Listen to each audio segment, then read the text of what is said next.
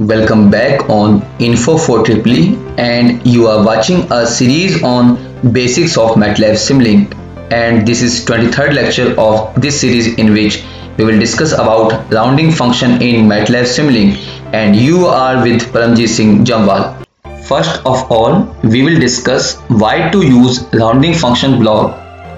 This rounding function block in MATLAB Simulink can be used to generate multi-level waveform. Suppose we have a sinusoidal waveform and we want to generate a 5 level waveform from this this level in 5 level waveform depends upon the amplitude of sine wave waveform which we can calculate using this formula. As we are generating a 5 level waveform so amplitude of sinusoidal waveform should be 2 hence we selected this amplitude. By changing the amplitude of this sinusoidal waveform we can generate multi-level waveform with any level.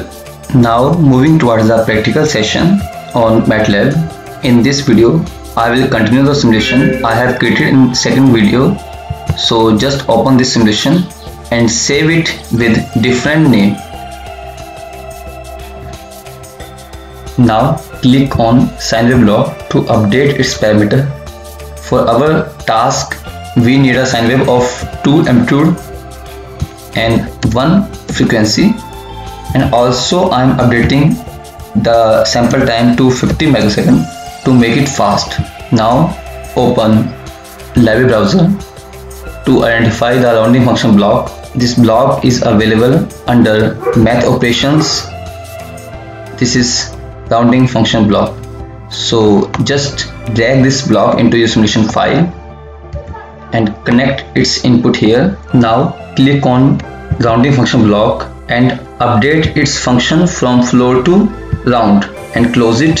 Now this rounding function block will generate our file waveform to check its output update the parameter of scope update number of input ports to 2 and update its sample time from 1 microsecond to 50 microsecond and close it. Now connect the output of rounding function block to the input of scope block. After rearranging the simulation our simulation is ready.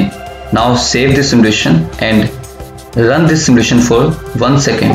Now as our waveform of 2 amplitude while it is showing the amplitude of up to 100 amplitude so update its axis by clicking on scale x and y axis limit. Now you can clearly see that our desired 5 level waveform has been generated with the help of sinusoidal waveform of amplitude 2. This is sufficient for today. I am thankful to Mr. Vijay Krishna Gudavali, Smart Electrical Master for his kind words. If this video is useful then like and share it. If you have any query or suggestion then let me know through your comments.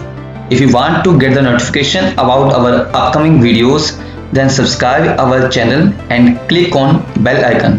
Thank you for being with us.